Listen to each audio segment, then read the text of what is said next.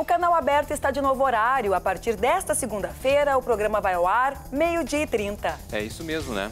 Portanto, os fatos do dia na capital, no interior, a previsão do tempo, o esporte, uma agenda completa de arte e cultura, tudo isso em novo horário. O canal aberto vai ao ar do meio-dia e 30 a uma da tarde. Até lá!